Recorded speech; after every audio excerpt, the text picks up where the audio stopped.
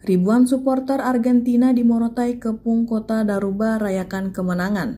Ribuan supporter Argentina di Kabupaten Pulau Morotai rayakan kemenangan dengan menggelar konvoi keliling Kota Daruba. Kemenangan Argentina di babak 16 besar saat melawan Australia itu membuat ribuan supporter itu mengelilingi kota Daruba sejak pukul 6.00 waktu Indonesia Timur. Pantauan Tribun Ternate.com titik kumpul supporter Argentina itu di Taman Kota Daruba.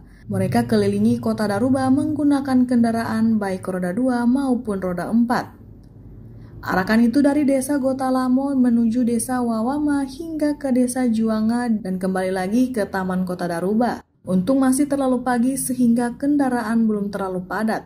Para pendukung itu baik dewasa hingga anak-anak rata-rata menggunakan jersey berwarna putih biru.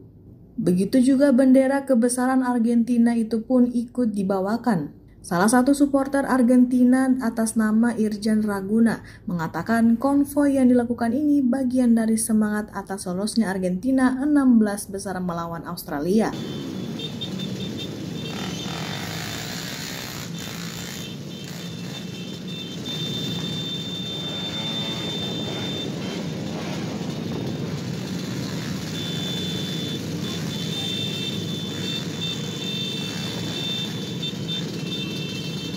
Terima kasih sudah nonton. Jangan lupa like, subscribe, dan share ya.